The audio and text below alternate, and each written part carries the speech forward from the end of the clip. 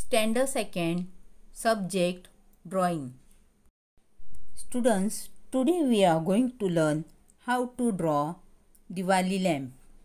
Students, first draw border on the page, then draw semicircle as shown.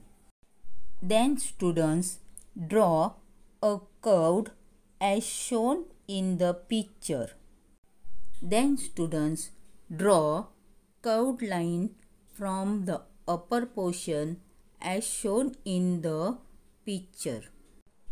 Students draw curved lines inside the lamp.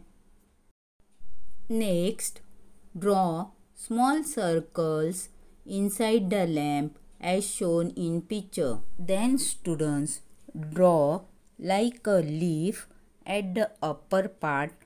It is called as the wick.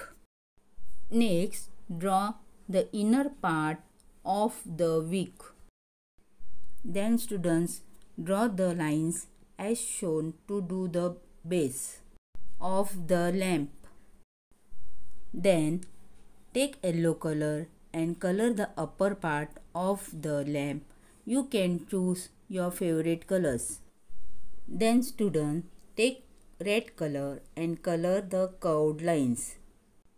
Take green color and color the body part of the lamp. Then take different colors and color the circles. Here your Diwali lamp is ready. Thank you.